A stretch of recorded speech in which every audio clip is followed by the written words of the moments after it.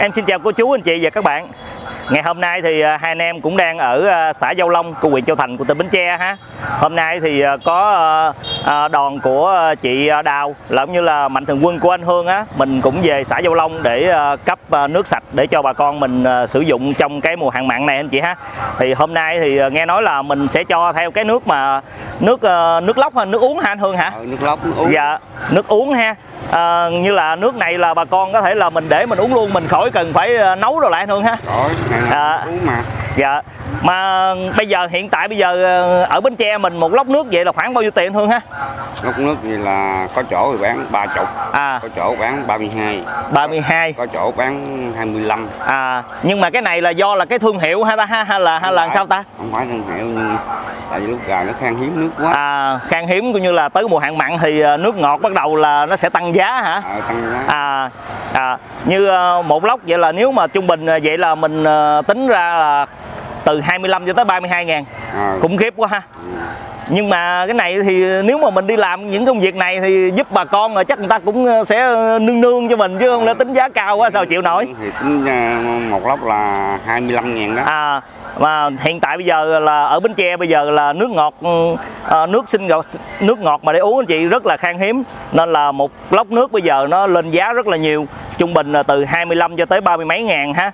Mà à, cái này là mình chủ yếu là nước mà để cho bà con uống á chứ mà còn hiện tại bây giờ nước mình về nước sinh hoạt á thì em thấy cũng có những cái xe xe bồn á người ta chở nước sinh hoạt cho bà bà con rồi. À, tụi em á thì cũng dự định là mình sẽ làm những cái chương trình để mà đi giúp nước Ờ, nước ngọt để bà con sử dụng, để bà con uống đó anh chị. Thì ờ, em cũng mong là cô chú anh chị cũng ờ, sẽ hỗ trợ kinh phí để hai anh em có điều kiện đi giúp cho bà con ở Bến Tre trong cái mùa hạn mặn này ha. Mà em thấy mà bây giờ người ta chở những cái thùng mà nước mà giống như là 30 lít anh Hương, thì anh Hương thấy cái nào nó tiện hơn hơn Hương ha?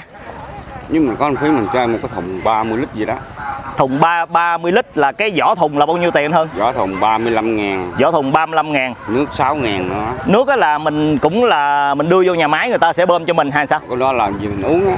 À nhưng mà À, nước người ta lọc à, là tinh khiết luôn á. À là người ta lọc tinh khiết rồi người ta đưa vô người ta bơm đầy cái cái Đầy cái, thùng cho cái mình. can 30 lít cho mình. À, là À. 6 ngàn một thùng vậy là 41 ngàn hả? Quy ra là một thùng 30 lít và là 41 ngàn. 41 ngàn. Mà nó được là 30 lít 30 đúng không?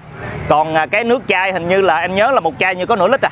Lít thì mà, mà một lốc thì nó mà 24 chai. 24 chai thì nó có có 6 lít.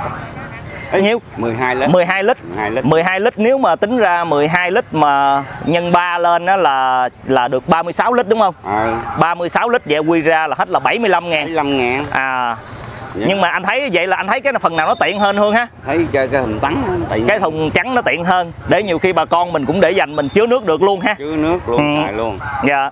Thì ờ, bây giờ thì nó có hai hai cái quy cách vậy đó anh chị. Một là mình sẽ tặng ờ, theo kiểu là cái nước lóc á, nước chai mà ta vô loại nửa lít nửa lít gì để cho bà con ờ, mình uống hàng ngày luôn ha.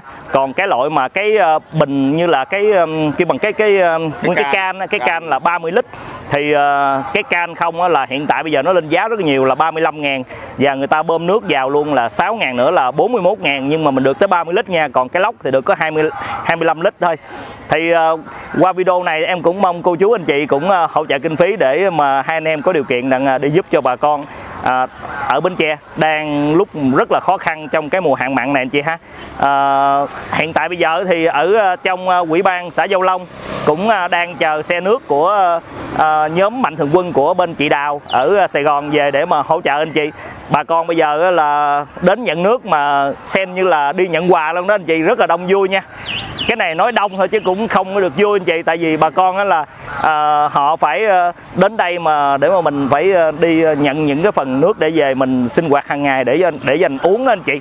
Thấy rất là rất là khó khăn ha. Thì ờ, em cũng mong là cô chú anh chị cũng ờ, sẽ hỗ trợ ờ, giúp hai anh em có điều kiện rằng mình giúp cho bà con ở Bến Tre cho mình đỡ được phần nào trong cái mùa hạn mặn này, anh chị ha. Lúc này ở các quỹ ban thì thường là người ta sẽ có những cái bồn xanh như vậy nè, anh chị, để mà mình cấp nước sinh hoạt để cho bà con mình sử dụng ha. Còn về phần nước uống thì bà con mua, lấy nước này về họ phải nấu lại, anh chị đây có cái bảng là à, điểm cấp nước miễn phí nè. Đây là của à, công ty à, cấp nước à, à, sinh hoạt của huyện Châu Thành. Đây à, bà con bây giờ à, họ đang à, chờ xe nước tới đây anh chị. Ừ. Đông quá trời đông luôn á ở bên trong nữa anh chị. Đứng dài dài dài đang thời điểm này thì à, rất là nắng nóng và hạn mặn xâm nhập rất là sâu vào Bến Tre. Nên là à, nhu cầu à, mình à, cần nước sinh hoạt nước sử dụng rất là nhiều. À. dạ chào cô. Dạ cô Giao Long luôn hả cô? Dạ. Nghe nói đây giờ nước mặn dữ lắm hả cô? Dạ. Bốn bốn chấm bảy anh hả? À 4.7 là bây giờ mình đâu có sử dụng ờ, tưới cây rồi không có sinh hoạt gì được hết. Chết hết trơn con ơi dạ Cây dạ. bưởi khô chết hết dạ. ở nhà ở nhà rồi mình có bồn để mình chứa nước vô không cô nhà nghèo thì chỉ có một bồn vậy thôi đâu Dạ. đủ con nhưng mà chứa ờ, chắc xài cũng không đủ ha. Ăn chứ dạ. chỉ ăn uống là hết. Dạ. Hạn mặn ờ, ở bến tre mình á, là ở giao long này là từ nay là khoảng mấy tháng rồi cô? Cũng lâu rồi cô không biết mấy tháng chứ cũng lâu ba ba tháng hả chị? Cũng lâu lắm. Mà bây giờ có bồn nếu mà chứa cũng không sử dụng đủ luôn ha. Hồi dạ. mấy năm trước mà 6 tháng. Dạ mặn 6 tháng luôn hả anh? Dạ. Thường thường ờ, mỗi năm á thì ờ, có năm thì mặn Dạ. nhiều năm mặn ít dạ. Rồi thì nó không có mặn nhiều cho lắm. Mà mặn nó mặn mặn hơi hơi chỗ chừng khác là nó hết rồi. Dạ. Có năm nay mặn nhiều thôi chứ. dạ. vậy là chị cũng ở giao long luôn hả chị? Dạ. Mà em nghe nói là bà con mình trong vườn đồ thấy đường đi vô cũng hơi nhỏ hả chị? Dạ. nên là em nghĩ là xe vô chắc hơi khó ha. Xe ở mấy cái đường tích túc như tục lộ thì xe lớn vô được hết Dạ. còn có mấy cái đường hẻm hẻm á thì xe qua lâm vô được. Dạ. Xe tải rồi vô dạ. được. Nhưng mà hàng ngày hàng ngày chị cũng phải đi đi chở nước đây nè. Dạ cũng phải lên đây chở về xài. Dạ. chở về hai thùng vậy đó. Dạ. chục lít chở hai thùng vậy xài Dạ. ngày. À nhưng mà nhưng mà là quy định là mỗi người được hai thùng hả chị? Cho chở thoải mái nhưng ai Dạ. cũng xài nhiêu thì người ta xài nhưng Dạ. mà ví dụ mình chở hai thùng hay chở còn muốn chở bốn thùng thì chở. Dạ. Cho nhưng mình chở xài thoải mái Dạ. công ty cấp nước nó cho. Dạ. Nhưng mà cũng phải canh sáng sớm đi chở hả chị? Ờ, ta- bản ờ, thì nó cho khi 9 10 giờ rồi ờ, một chuyến chiều thì ờ, hai ba giờ. Dạ. Khi ngày cho hai chuyến khi ngày Dạ. cho ba chuyến dạ. Nhưng mà em thấy cái bồn ở đây cũng đâu có đủ mà để cho bà con ở Nhiều bồn. giao long mình sử ở dụng. Giao long này nó để nhiều bồn. À cũng như địa, nhiều địa điểm hả chị Ờ, ha? dạ vậy cũng đỡ cho bà con. Chứ tới mùa hạn mặn này em thấy là vất vả lắm. Ở dưới cây sứ á dạ. Ở ngoài cây sứ rồi bữa hổm để ngay chỗ trường học á rồi trường học không biết sao dạ. Bữa hổm để ngay chỗ trường học ờ, mẫu giáo ờ, ở một tí mà không biết sao rồi nó không cho để. Dạ. Hôm nay hôm hôm hôm nay đến ờ, nhận nước sao không thấy bà con nào chở bồn chở cái can nó đơn vậy? Chở hồi sáng rồi chở dạ. rồi. Dạ. Ở hai thùng sinh hoạt rồi rồi giờ Dạ. chỉ chở nước uống thôi. Dạ. Nhưng mà nhưng mà như như chị thì chị thấy là cái nhu cầu mình ờ, nước sinh hoạt hay nước uống nhiều chị nước ờ, sinh hoạt thì xài nhiều hơn nước uống à. Dạ. tại vì ví dụ như lốc nước uống cái gia đình mình ví dụ bốn năm người mình có thể mình à, tiệm uống được vài ngày. Dạ. Còn ờ, nước sinh hoạt thì ngày phải xài phải hết hai thùng. Dạ. Tại vì có nít nữa nó tắm Dạ. rửa cho mấy đứa nhỏ nữa Dạ. rồi nấu ăn nấu uống rồi Dạ. đó. Còn mình lớn mình tắm nước mặn được. Dạ. Rồi nhà nhà nhà chị hiện tại mình có cây trái gì trong nhà không chị? Cây ở vườn á? Có dừa với bưởi mà Dạ. bưởi thì nắng thì ngập mặn thì cô mốt dạ. Cũng rầu dữ ha chị ha rầu á ha. Dạ. Tại mình không có tưới nó được Dạ. nào bị ngập mặn rồi Dạ. nào nắng nữa chết hết. Vậy là cho nó chết khác này mấy tháng này hả chị? Chết khác mấy tháng. Dạ cũng rầu rầu cho bà con ha. Tới mùa hạn mặn này là chết luôn. Người còn chết khác kìa Dạ. cây dạ. Dạ rồi em cảm ơn chị. Dạ. Quay mấy cây cao còn chết. Cây cao cũng chết luôn đó hả? Dạ. Chịu gì nổi dạ hiện tại giờ cái ờ, nhu cầu ờ, sử dụng ờ, nước ngọt để mà mình uống để sinh hoạt ở bến tre của mình đang cần rất là nhiều anh chị. À, được sự giúp đỡ của à, các đoàn ở các tỉnh khác ở bến Tre- ở các tỉnh khác về hỗ trợ cho bà con bến tre của mình thì bà con của mình cũng rất là đỡ anh chị. Năm nay thì vừa nắng nóng và vừa hạn mặn À, đang lấn vào bên à, trong à, các cái mương rạch ở Bến Tre của mình rất là sâu. Nên là à, bà con hiện tại bây giờ là à, đang thiếu nước sinh hoạt rất là nhiều. Thì à, qua video này thì cũng mong là các đoàn mình cũng sẽ à, về hỗ trợ tiếp tục cho bà con ở Bến Tre mình để mình có nước sinh hoạt anh chị ha. Bà con à, bây giờ là à, vào chờ nước sinh hoạt tới đây luôn. Ừ, rất là đông.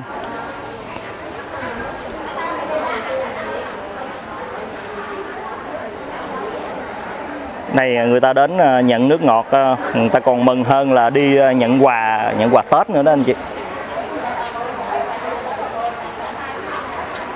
À, mấy chị cũng đến nhận nước ngọt về để mình sử dụng ha. Dạ. dạ, dạ. ở đây hiện tại bây giờ mặn dữ không chị?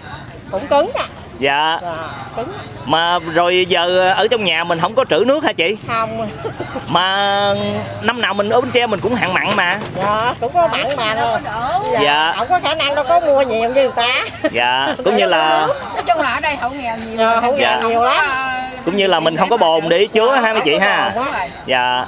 Nhưng mà em nghĩ nếu mà bồn mà khoảng chừng ờ, bốn năm khối chắc là trữ ờ, mấy tháng này trữ cũng không nổi đâu. dạ. Dạ. Mà bởi nên là, là mình phải ờ, có nước cấp cho bà con sử dụng hoài. À, nghe xe nước ở đâu cũng đi tới á Dạ. Thường là mừng rồi dạ. Thường rồi rồi ờ, chị mình đi ờ, lấy nước sinh hoạt này lấy ở đâu chị? ở ngoài ủy ban là nhiều Ở quỹ ban đây ha. À, Dạ. Rồi ủy ban nhiều rồi ờ, rồi, rồi cái đi lấy đâu nữa? xanh Xuống đâu chị? trúc xanh á Trúc xanh là ở ngoài dòng xây hả? ờ, ở ngoài dòng xây á Dạ, Dạ. ở ngoài dòng xây. Dạ. Nhưng mà chị thấy chị thấy ở trên ờ, Giao Long này bây giờ nhiều cái địa điểm mà những cái bồn mà để cấp nước ngọt cho bà con mình không? Ờ, cũng ít chứ không có nhiều dữ Dạ. Ờ, hủ tiếu chai với cây sứ cũng có Dạ, hiện tại bây giờ tại vì nước hiếm quá. Dạ. Dạ. với lại chỗ trúc xanh là hai chỗ Dạ. thôi Dạ. có hôm qua có hôm qua ở đâu á mà chở xuống cây xăng à, sáu diễn nè Dạ. chở cho mấy xe tôi chạy xuống tôi lấy bất kỳ lấy hết trơn không Hết trơn hả? À, bỏ công chạy chờ mà không còn miếng nào hả chị? Thì, à, Dạ. tại hai là đến tiền trưa rồi Dạ. Hôm nay em thấy ờ, bà con ờ, đến ờ, nhận ờ, nước sinh hoạt mà em thấy còn hơn là nhận quà quà Tết ha. Dữ Nhận quà Tết chưa có được đông như vậy. lắm. tại nhà ta Dạ. mừng dữ lắm Dạ. Dạ hôm dạ hôm nay đi nhận nước này là đâu có phân biệt giàu nghèo gì đâu, giờ ai cũng cần mà. dạ, Dạ. cũng cần á Dạ. ta nghe là ở đâu ta cũng đi tới hết Dạ. Hồi à, cái à, năm mà hạn mặn ở à, Bến Tre mình năm 2020 á Dạ. là đợt đó mà ở thành phố Bến Tre hạn mặn á em cũng phải xách đi xách từng cầu thùng vậy đó, nhiều khi đi làm cái xách theo thùng hai thùng vậy đó. Dạ. Đặng đi xin về xài. Dạ. Chứ thôi lúc đó là cũng chết luôn. ờ có năm Dạ. đó là mặn dữ lắm á tới mình Dạ. bắt đầu hết Dạ. nước Dạ. có nước năm đó em ở đây mà đi ra Phú An Hòa chở trở nó Dạ, vậy là đi lần cũng gần cả năm bảy cây số luôn. dạ Dạ. Dạ. Tại vì chị biết sao không? ở dưới quê thì nhiều khi mình còn có chỗ chứa chứ mà còn ở thành phố Bến Tre nhà nhà phố không ờ, chỗ đâu chứa. dạ. Nên đó là đợt đó hạn mặn á là phải đi sách hàng ngày vất vả lắm mấy chị. Dạ. Đó là mặn kéo dài lắm á. Dạ. Dạ dạ. Ờ, chắc cũng sắp tới rồi mấy chị đợi tí xíu nha. Dạ. dạ. Em ờ, chia sẻ video vậy nè để mà cho bà con ờ, ở phương xa với các nhà hảo tâm ở các tỉnh nhiều khi họ thấy ở bến tre mình đang bị khan hiếm nước ngọt này nè Dạ. để họ cũng sẽ về giúp cho bà con ở bến tre mình. Dạ. chứ nếu mà không không có mà nhiều người chung tay vào thì ở bến tre mình là chết khác luôn á. Dạ. Dạ dạ em ờ, hồi nãy em ngồi ở ngoài ngay dòng xe giao long uống cà phê ngoài á Dạ. mà em thấy là khoảng ờ, mười mấy xe người ta đi hướng về bình đại đồ rất là đông. Dạ, dạ. chở xuống dưới nhiều lắm. Dạ ở dưới nghe nói dưới ờ, dưới đó thì nó gần cửa biển nên là nó sẽ mặn mặn mặn hơn ở bên mặn hơn cánh ở đây của đây của mình. Dạ. Dạ rồi mấy chị đợi tí xíu nha xe sắp tới rồi nha. Cảm ơn nha. Dạ. Rồi xong rồi được về sớm ha có hai lốc nước rồi về sớm ha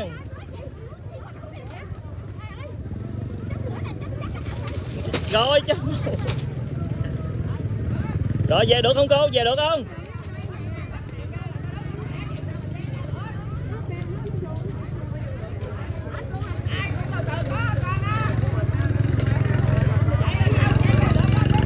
À, bà con ai cũng muốn có ờ, nước để mà mình ờ, về chị. Nên là ai cũng phải chen lấn vào. Tình trạng bây giờ ở Bến Tre thiếu nước rất là nhiều anh chị rất là khó khăn. Có hai lốc nước mà bà con à, tập trung à, đến nhận rất là đông người ha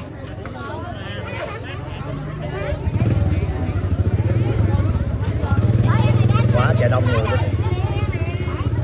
Bây giờ là không có còn phân biệt à, người giàu người nghèo đâu.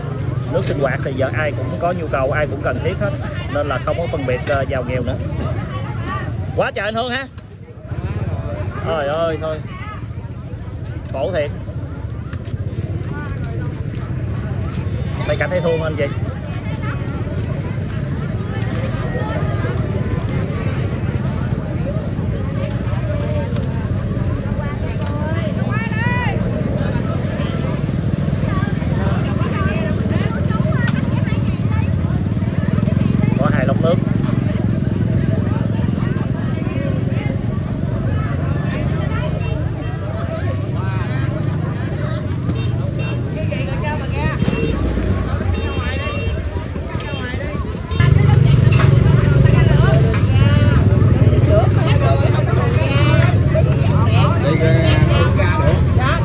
Về đông luôn mà. Bây giờ ai ai cũng muốn có nước ờ, đặng ờ, đặng về trước mà. Sợ rồi hết. Thì bởi vậy nhưng mà bà bà con ai cũng sợ hết nước, nên là ai cũng tranh vô để mình mình lấy sớm anh chị. Dạ chen ngồi xỉu hả chú? Dạ,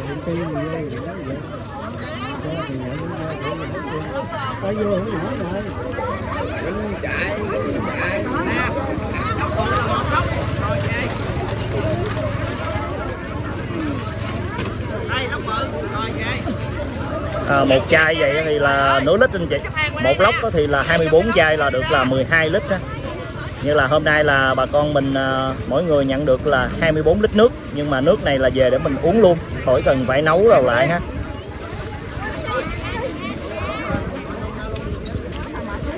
Như vàng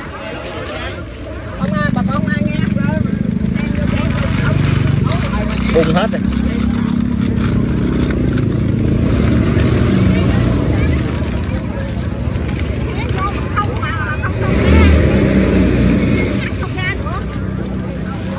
người quá nên là bây giờ là chen vô cái là không có ra được anh chị. Dạ, quá trời người luôn.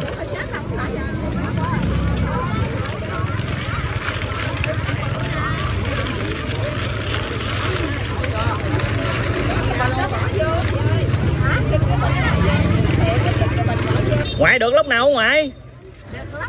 Được lúc hả ngoại? Dạ. Mừng hả ngoại ha? Hôm nay là nước là quý hơn vàng hả ngoại? Dạ. Dạ.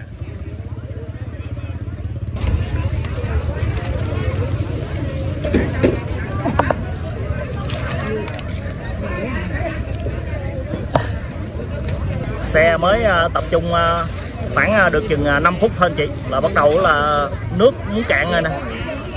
Bà con bây giờ ai cũng có nhu cầu để mà mình lấy nước ngọt để về mình sinh hoạt hết trơn á. Nên là tập trung rất là đông này là chỉ có mới là một xã Giao Long của mình thôi đó anh chị. Ở ờ, trên huyện Châu Thành này như là ở trên cánh đông từ ờ, Phú An Hòa, mình dài xuống tới ờ, Giao Long, An Quá bà con đang thiếu nước sinh hoạt, nước ngọt để mình sử dụng hàng ngày rất là nhiều ha.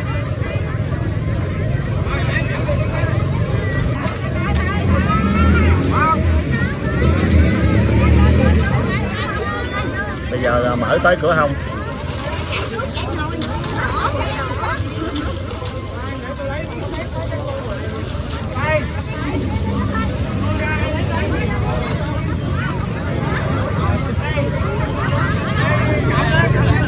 Cửa bên hông luôn mới à, chịu nổi anh chị. Chứ mà còn giờ là mở có một cửa sau không thì à, bà con tập trung quá đông. Được mấy lốc, cô? Cô được mấy lốc? Hai lốc rồi ha? Vậy là mừng rồi ha? Giờ về được rồi ha? Dạ.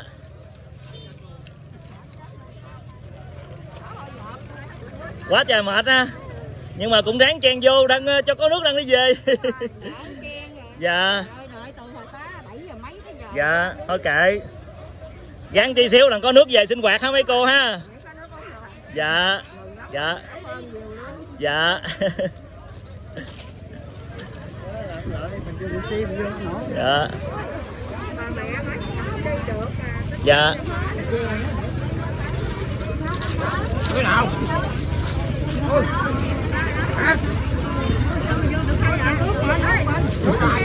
dạ. Dạ chỗ có cái bồn nữa nên nó dạ có hơi chặt. Có cái bồn đó thành ra nó nhỏ. dạ.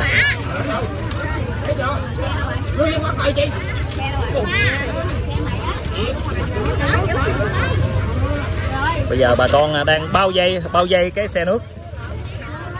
Ai cũng muốn có ờ, lấy được ờ, hai lốc nước đằng mình về ờ, để dành uống anh chị bây giờ bây giờ bà con à, ở à, xã Vô Long là mình đi à, nhận nước ngọt về để mình sử dụng còn hơn là đi nhận quà Tết nên chị rất là đông. Mà tính ra thì hai lốc hai lốc nước thế này thì cũng khoảng ờ, 50 ngàn. Mà bà con đến rất là đông anh chị.